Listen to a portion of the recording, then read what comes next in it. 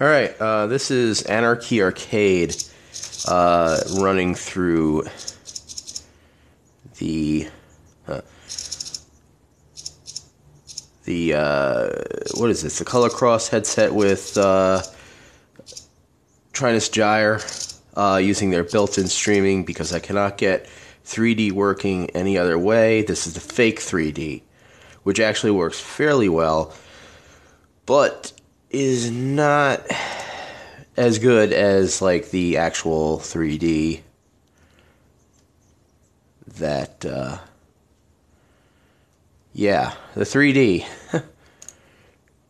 it's not as good as the 3D that um well, I wish I could talk that you get with the uh that headset thing, you know? The the what's a face?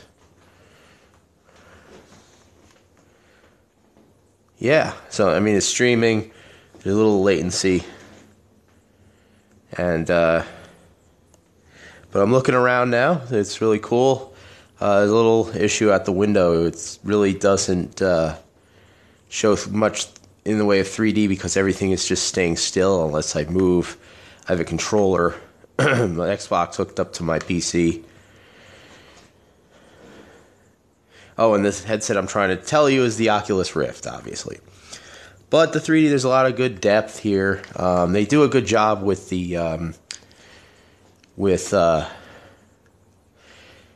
with the uh, 3D for it being actually fake 3D. They actually are able to get it to look very nice. Uh, the only major issue I have with this is the fact that I have a Galaxy S4. The screen's not that big compared to something like a Note or something. And what ends up happening is I see a big box. Kind of, you see black bars around everything. And it just doesn't cover up enough area for it to be uh, really believable enough, so it takes away from the experience. Um, they do. Trinus Gyre has a lens correction thing, and I really don't like it. it. Actually, makes it look like you're looking through a CRT, and it makes you feel sick. So I turned it off. But yeah, you can look around. This is the uh, Anarchy Arcade. You can build an arcade. I did a little bit in here. You know, you can do stuff like that. And you know, that's all well and good. Uh, I've seen what the the Oculus Rift looks like. Um, yeah, I've seen what the Oculus looks like. Let me turn up the volume on my PC. So maybe some of it could seep through. There's not much going on with the audio, but. Anyways, yeah, so the Oculus has good 3D, like things really pop out, and when you look through the windows, like if you move your head, the camera angles will move uh, a lot. But right here, if you see, if I move my head, nothing really happens except for maybe you know like the image distorts a bit because of the way they did the fake 3D. But um, if I move with the analog stick, left and right, or back and forth, then it moves. But I don't see any depth out the windows. So there's no depth effect out the windows.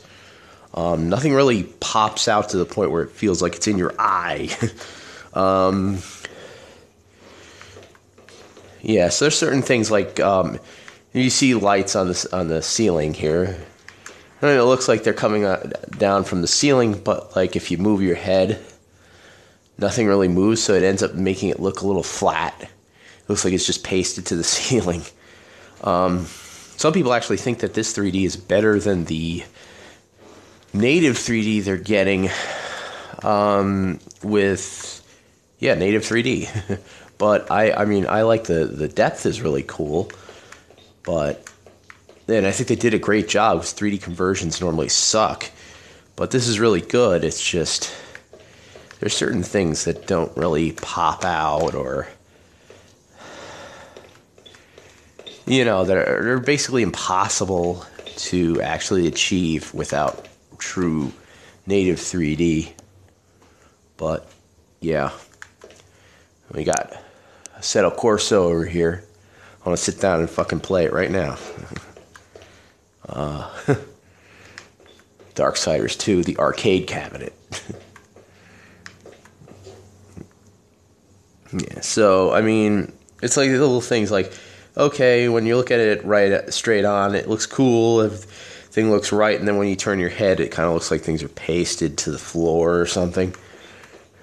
And you can't really do anything about that because it's you're not getting two real camera angles, and uh, there's certain things that weren't done uh, because this wasn't really made with 3D in mind. Also, my head likes to drift downwards. um, there's also a drift issue with the Galaxy S4, uh, where basically the camera, where uh, it's like a, it's weird. It's just the the camera will drift around, and it's a it's a software issue. I know that because I mean there's, it can't be fixed in stock uh, the latest stock update, but if you have like a custom ROM, which I can't get because I have a Verizon Galaxy S4 and they stop you from doing things because you're idiots. But, you know, you can fix that if you can get a custom ROM. I can't do that, so I don't have that. If they ever update to Lollipop, which apparently they're supposed to, uh, hopefully that should be fixed. and shouldn't be having these issues. But uh, and this is cool. Uh, it seems to be lagging now, so it may even disconnect. Uh, but yeah, that was just wanted to show um, this uh, using using the uh, the uh, what's a face color cross and uh, go downstairs and the um, yeah the um the color cross and what do you call it? And the Gyre using fake 3d because it's weird because um, if this app would go into full screen um, tridef would work. I've actually been able to get it to work with tridef for like five seconds but this game is forced to be in windowed mode no matter what you do. So there's no way to put it in um, full screen but unfortunately, I have to deal with uh, the fake 3D, even though it's not so bad. It's just, it would be so much better if it was uh, real, if it gave you a real 3D effect, like true 3D. But, you know, it's cool.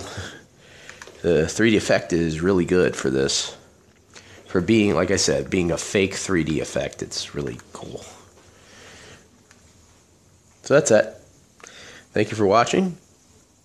And I'm sure actually if this was if I had a bigger phone or something, this would be a lot more immersive because it does give you a, a sense of being there, especially like right now I'm standing.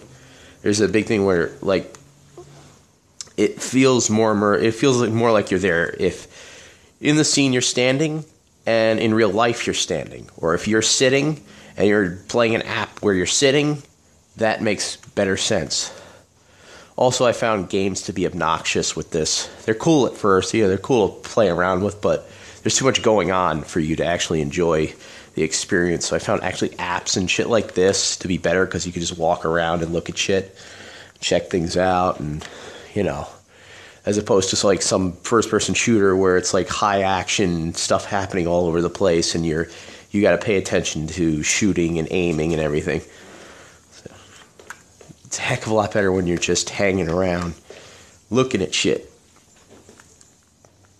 Um, but if you have like a, a, game that doesn't have a lot going on, you know, maybe a little more relaxing, you probably have a better time. Probably like Skyrim would be. Uh, Skyrim's not that great in 3D, you know, in virtual reality, I didn't find. But like it would be something with that little going on where it could be relaxing is good. Outside of that, you know, this is cool. And uh, yeah, by the way, this is the actually the ultra quality, but I, am not using USB tethering or anything. I'm just using Wi-Fi Direct, and uh, getting a lot of uh, a lot of um, artifacting and things. You'll you'll see it in the video if you actually look and maybe a Google Cardboard or something, or maybe even on a 3D television, 3D display. I keep having to adjust my my. Uh, I have to center my view. Keeps getting going off. That's that. Thank you for watching.